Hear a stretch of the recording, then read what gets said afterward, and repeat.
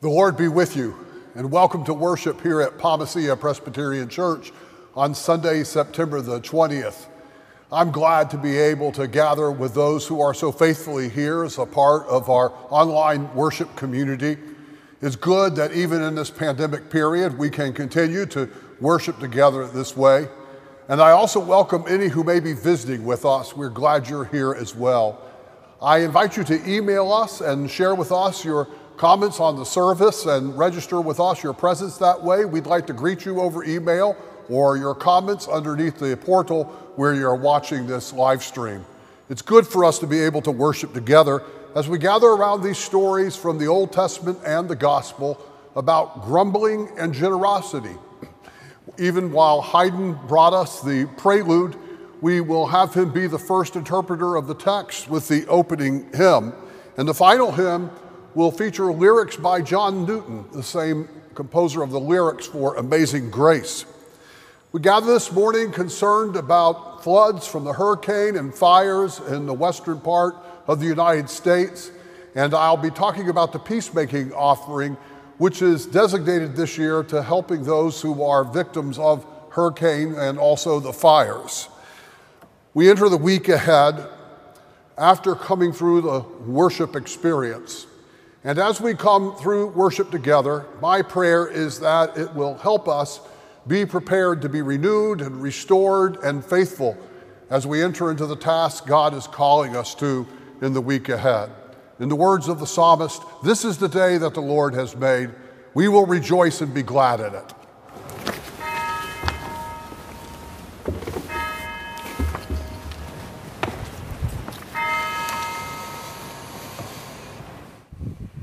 Let us be called to worship. Oh, give thanks to the Lord, call on his name, make known his deeds among the peoples. Sing to him, sing praises to him, tell of all his wonderful works. Glory in his holy name. Let the hearts of those who seek the Lord rejoice. Seek the Lord and his strength, seek his presence continually.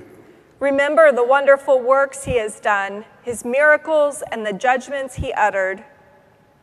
He is the Lord our God. His judgments are in all the earth. He is mindful of his covenant forever, of the word that he commanded for a thousand generations. He spread a cloud for a covering and fire to give light by night.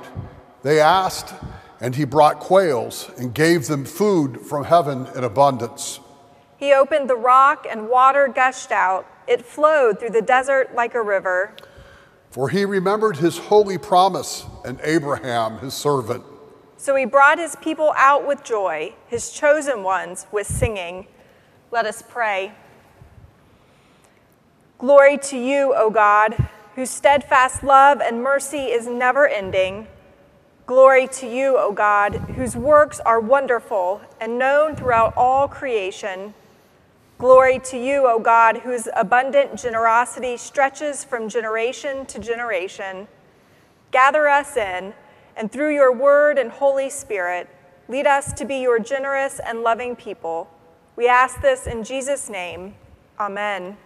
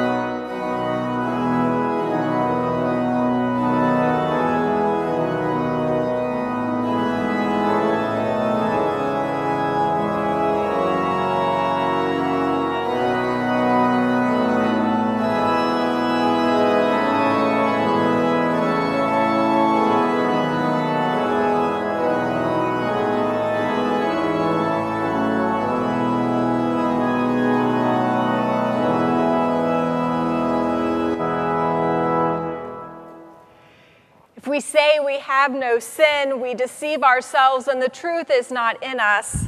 But if we confess our sins, God, who is faithful and just, will forgive us all our sins and cleanse us from all unrighteousness. In humility and faith, let us confess our sin. Almighty God, maker of all things, have mercy on us. Jesus Christ, Redeemer of the world, have mercy on us. Holy Spirit, giver of life, have mercy on us. Merciful God, we confess that we have sinned against you in thought, word, and deed, by what we have done and by what we have left undone. We have not loved you with our whole heart and mind and strength. We have not loved our neighbors as ourselves. In your mercy, forgive what we have been, help us amend what we are, and direct what we shall be, so that we may delight in your will and walk in your ways to the glory of your holy name. Amen. Friends, hear the good news. Who is in a position to condemn? Only Christ. And Christ died for us, Christ rose for us, Christ reigns in power for us, and Christ prays for us. Anyone who is in Christ is a new creation. The old life is gone and the new life has begun.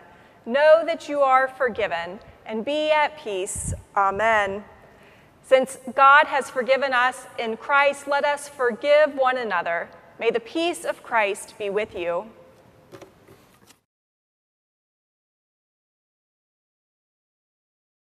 May the peace of Christ be with you. Peace be with you. Peace be with you. May the peace of Christ be with you.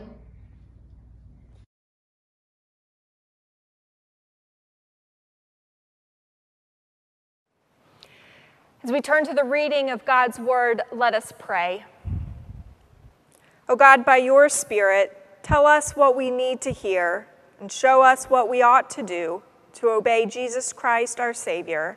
Amen.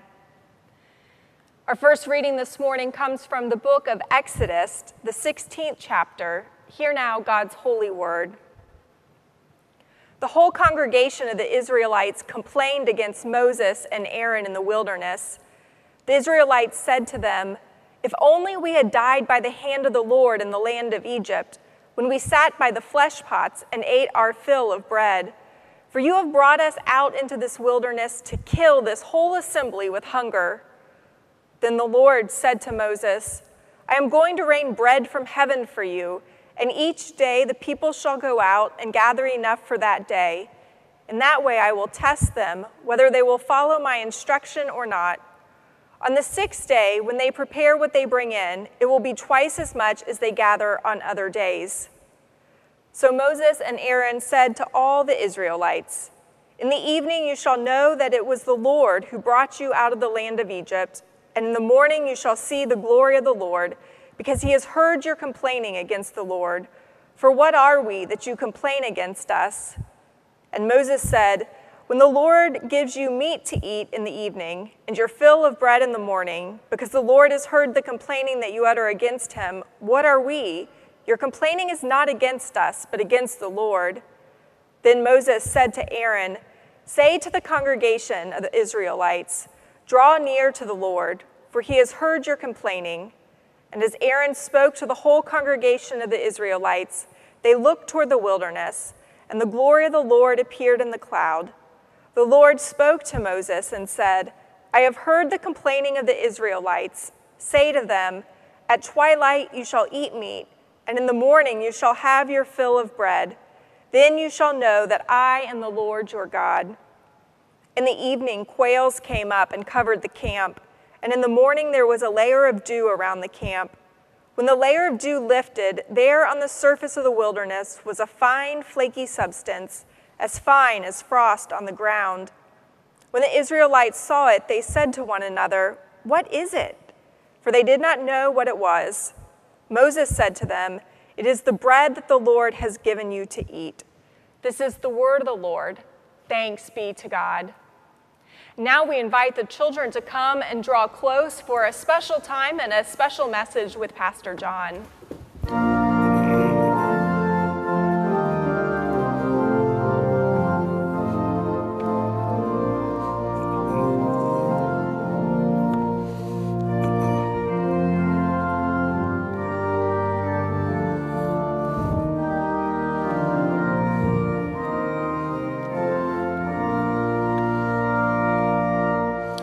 Good morning, boys and girls. Thank you for being here in worship today. It makes worship better for us when you're here. It really does. Now, Pastor Nicole read a story from the Old Testament about a time when God helped God's people, the Israelites. And God has always been faithful helping his people. He came to Moses in the burning bush when he heard his people who were captives in Egypt calling for help. He sent Moses to them to help lead them and to guide them. Moses went before Pharaoh and brought the plagues, remember, to make the Egyptians let God's people go. And when they left, they came to the sea and they didn't know how they were going to get across. And God divided the sea so that they could walk on the dry land. And when they came to the wilderness, then they wondered if they would have anything to eat. And the Bible says they complained, they grumbled. They grumbled because they were hungry, and they wished they had even the little food they had back when they were captives. But God gave them something to eat manna, bread that was there every morning, and water to drink, and God gave them meat to eat as well. And God told Moses, Tell these people how faithful I am. Tell them not to grumble anymore. When someone grumbles, it's a kind of complaining. It's a kind of complaining that means that you wish things were different, and especially that you don't think something is fair. People grumble when something doesn't seem fair to them. But you know what's better than grumbling? Being generous, saying thank you. And so God taught them by giving them bread every morning to eat and water to drink. How much better it was to be grateful and to be generous than to be grumbling. Now, we pray together a prayer in church often called the Lord's Prayer, and it has this line in it Give us this day our daily bread. And I bet you've heard that line before. When we pray that line, we're not just asking for bread for ourselves, but we're asking for bread for everyone who's hungry, food for any who are hungry.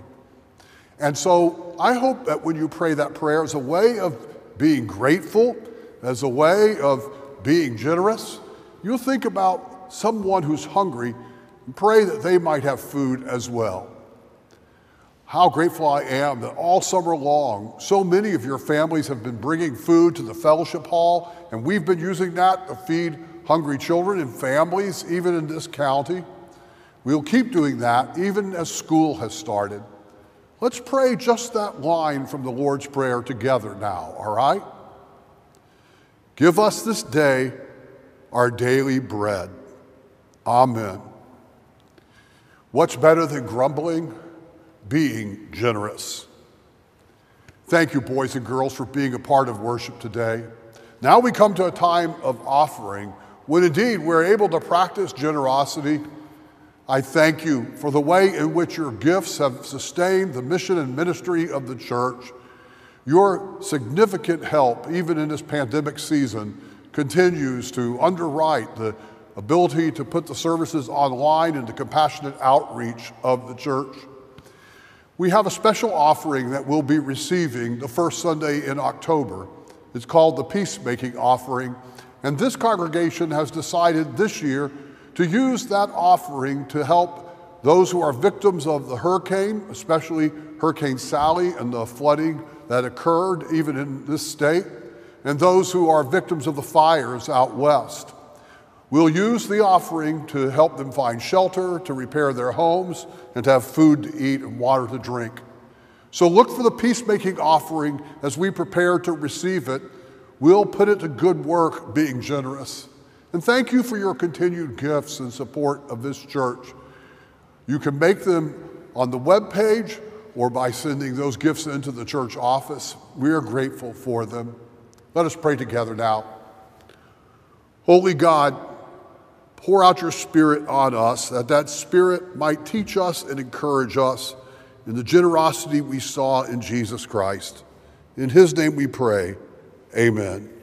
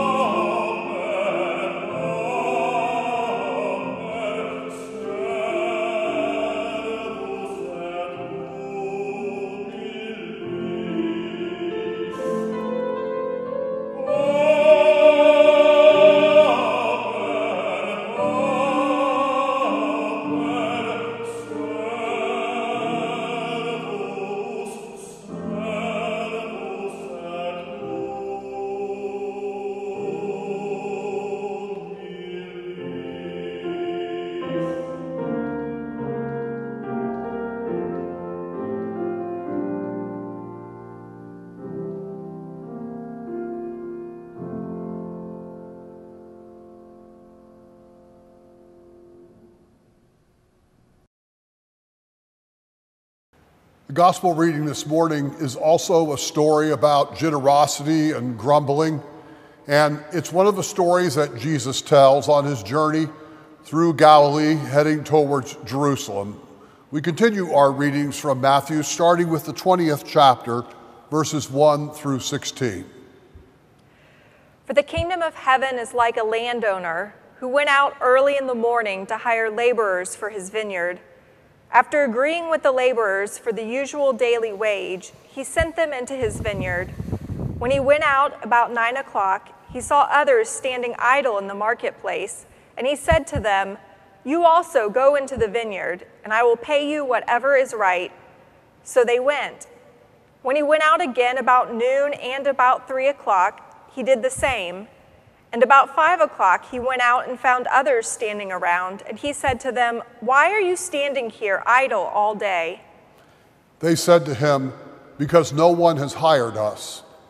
He said to them, You also go into the vineyard. When the evening came, the owner of the vineyard said to his manager, Call the laborers and give them their pay, beginning with the last and then going to the first. When those hired about five o'clock came, each of them received the usual daily wage. Now, when the first came, they thought they would receive more, but each of them also received just the usual daily wage. And when they received it, they grumbled against the landowner, saying, These last worked only one hour, and you have made them equal to us who have borne the burden of the day and the scorching heat. But he replied to one of them, Friend, am I, I am doing you no wrong. Did you not agree with me for the usual daily wage? Take what belongs to you and go. I choose to give to this last the same as I give to you. Am I not allowed to do what I choose with what belongs to me? Or are you envious because I am generous? So the last will be first, and the first will be last. Please pray with me.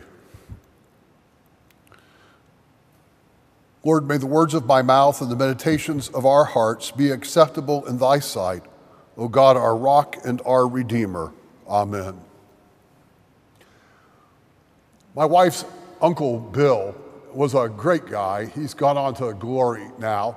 And he used to enjoy cooking family meals.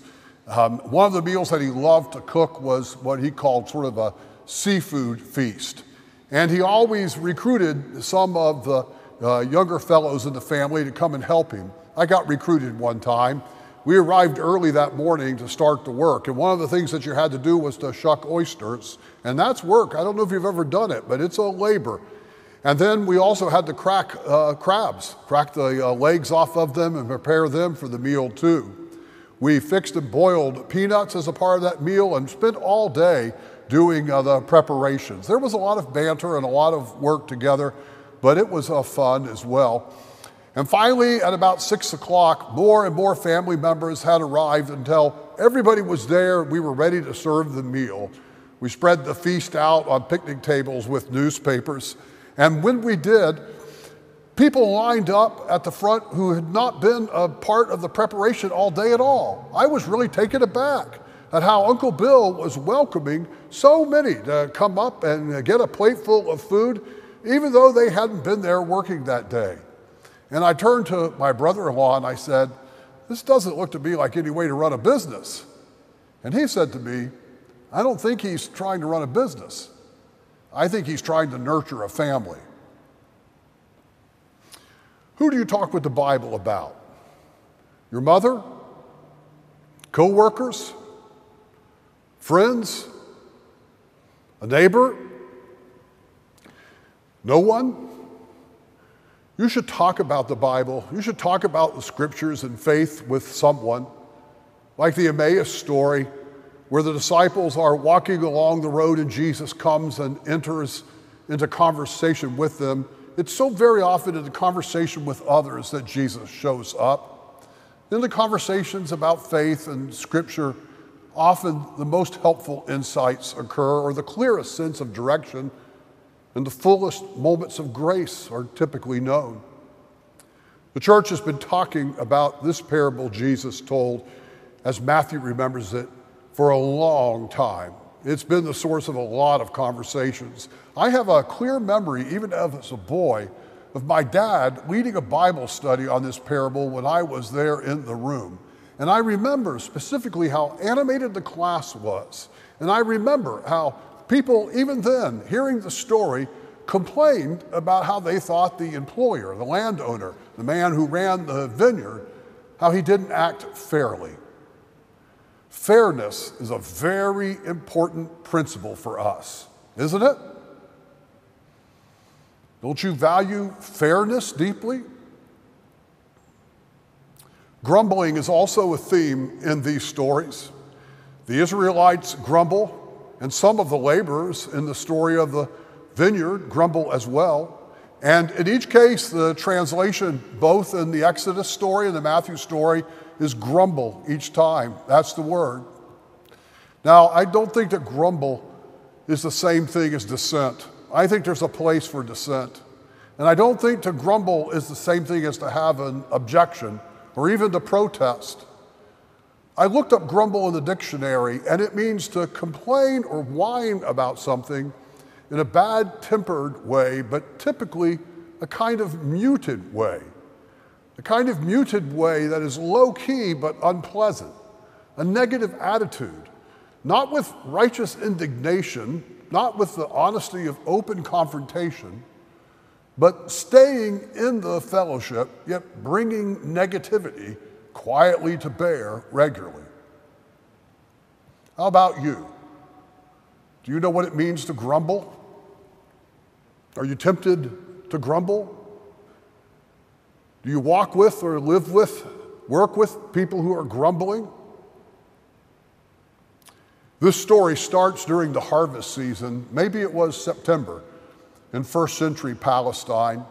And it seems that a vineyard owner had discovered that his crop was going to be so great, the grapes were going to come in in such abundance that he needed to have extra help if he was going to get them all in before they spoiled. And early one morning, before the workday began actually, he made his way to the town square where traditionally laborers would gather. That's why he went there, because he knew that people who needed work would be gathered there. Now, these were individuals that didn't have regular work, they didn't own property. They were dependent every morning on someone coming and giving them a job for the day day laborers. In the parable, the landowner comes at 6 a.m. and hires some, and then again at 9 a.m., at noon, at 3 p.m., at 5 p.m., and finally at 6 p.m., the workday is over and pay is made to the group as a whole. And all of the workers get paid the same wage, regardless of how many hours they work. And that's when the charges of unfairness break out. Wouldn't this landowner, this vineyard owner, have been shrewder if he had paid first the ones who had started earliest so that they would have walked away and not seen how much he was paying those who had worked last? But that doesn't seem to be his agenda, does it? In his paraphrase, the message, Peterson translates that, this portion of the parable like this Those hired at five o'clock came up and were each given a dollar, while those who were hired first saw that and they assumed that they would get far more. But they got the same. Each of them got one dollar. Taking the dollar, they groused angrily to the manager these last workers put in only one easy hour, and you just made them equal to us, equal to those of us who slaved all day under a scorching sun. Generally, at least in our initial read of this parable, most of us think also that the employer does not act fairly. And fairness is a very important principle for us, isn't it? As the owner said, though, friend, Note how he holds on to the relationship. Friend, he says, I haven't been unfair. We agreed on the wage of a dollar, didn't we? So take it and go. I decided to give to the one who came last the same as you. Can't I do what I want with my own money? Are you going to get stingy because I am generous? They are upset at the final apparent unfairness, aren't they? But they weren't upset by the initial unfairness. Did you see it in the story?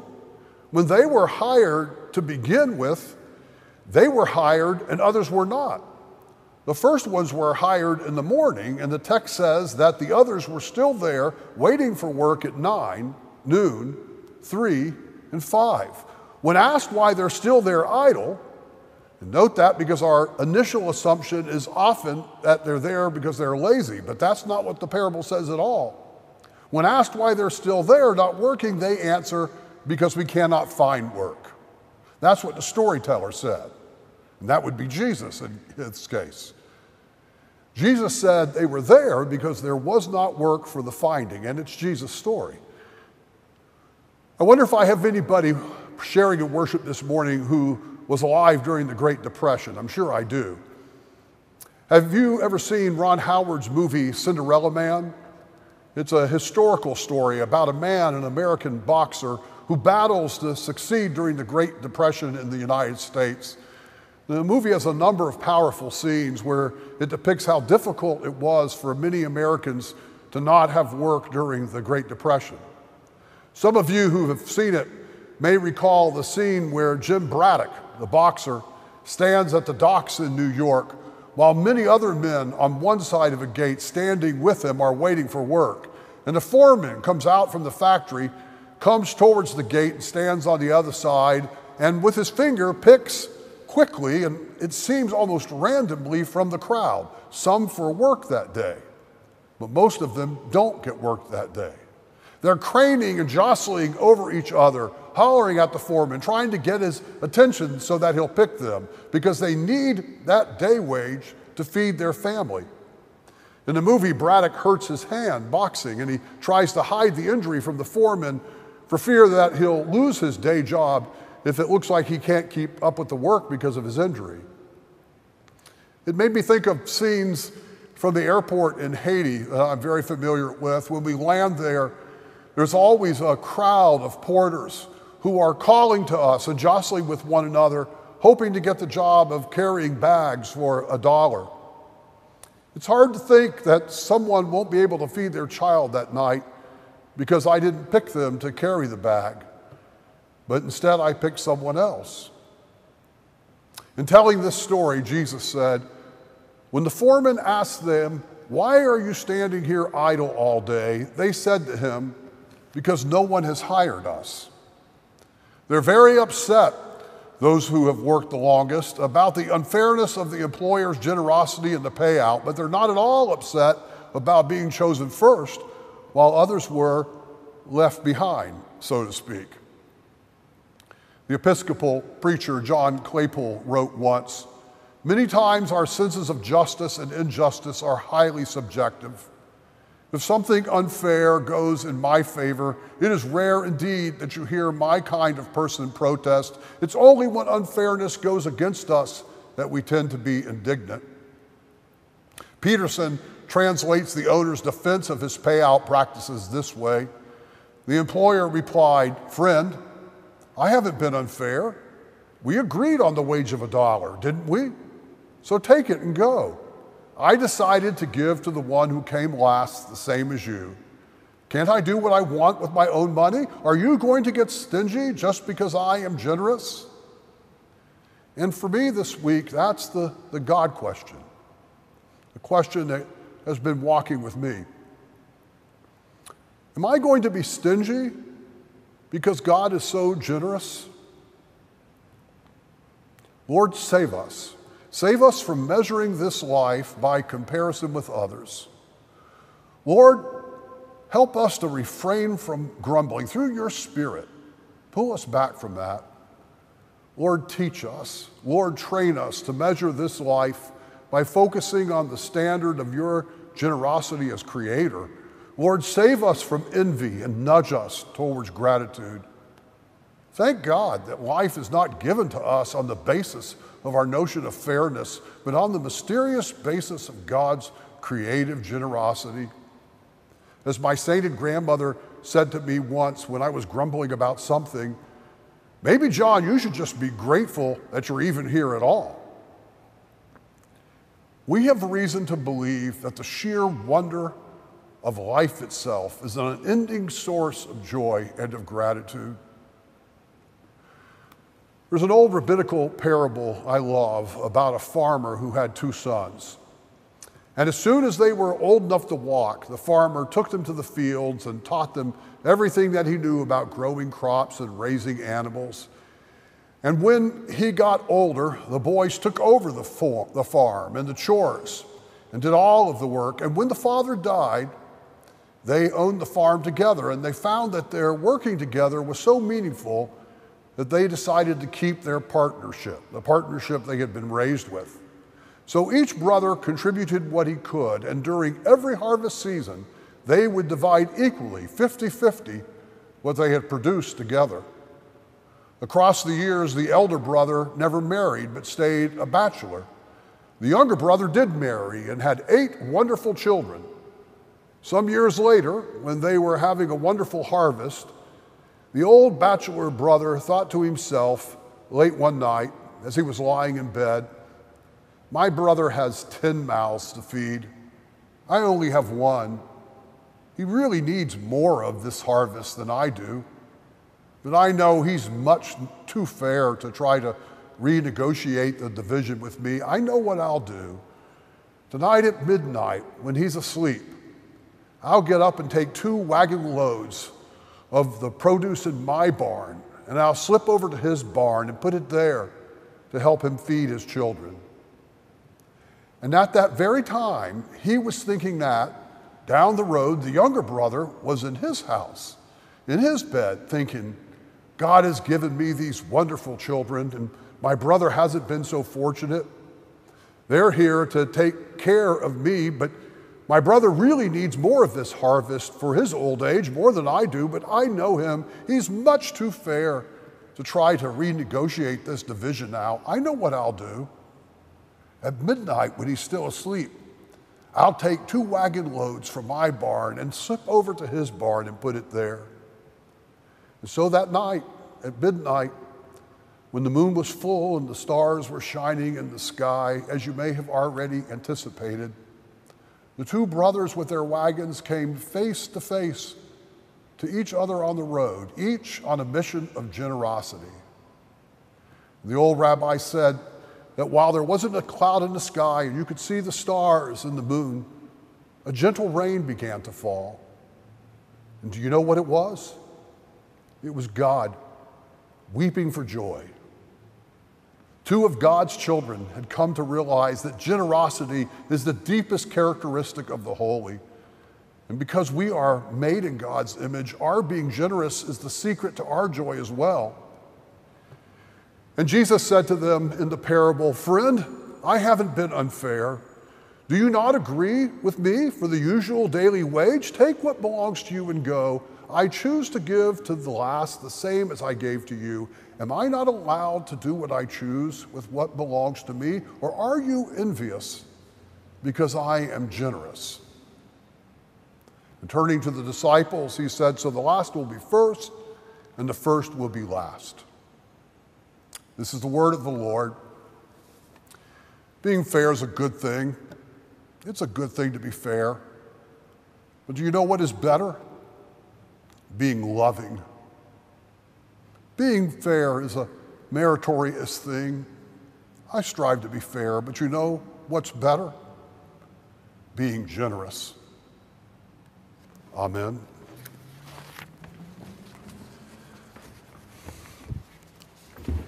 Let us join our hearts and our minds in prayer. God of heaven and earth, your generosity is so vast, we are unable to fully comprehend it and we often flounder in response. Forgive us and nudge us to resist grumbling in order that we may live lives in grateful response to your goodness. We thank you for the gift of the church, this community of faith charged to be the hands and feet of Christ in the midst of this world, which is so often fractured and broken at the hands of your people. Empower the church throughout the world to break down barriers that divide that united in truth and love, the church may confess your name, share one baptism, sit together at one table, and serve you in one common ministry.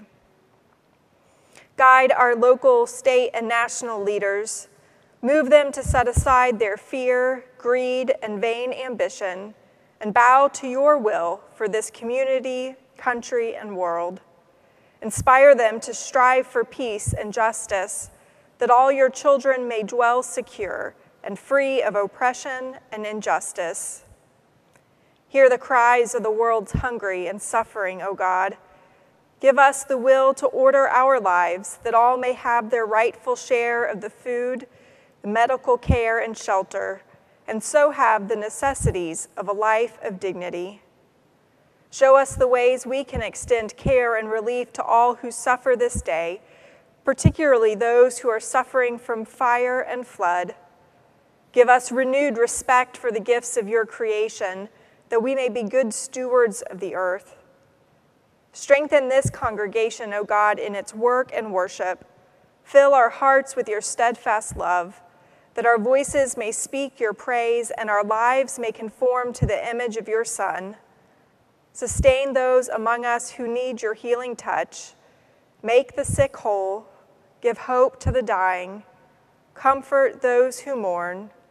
Uphold all who suffer in body or mind, not only those we know and love, but also those known only to you, that they may know the peace and joy of your eternal care. Now, with the confidence of the people of God, we pray together as Christ has taught us Our Father, who art in heaven, hallowed be thy name. Thy kingdom come, thy will be done, on earth as it is in heaven. Give us this day our daily bread, and forgive us our debts as we forgive our debtors. And lead us not into temptation, but deliver us from evil. For thine is the kingdom, and the power, and the glory forever. Amen. Let us now join our voices with the voices of the church around the world, across generations, as we declare our faith using the Apostles' Creed.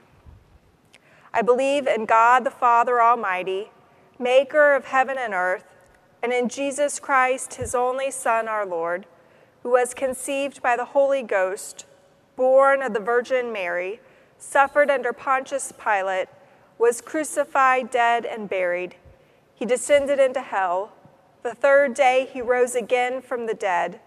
He ascended into heaven and sitteth on the right hand of God the Father Almighty. From thence he shall come to judge the quick and the dead. I believe in the Holy Ghost, the holy Catholic Church, the communion of saints, the forgiveness of sins the resurrection of the body, and the life everlasting. Amen.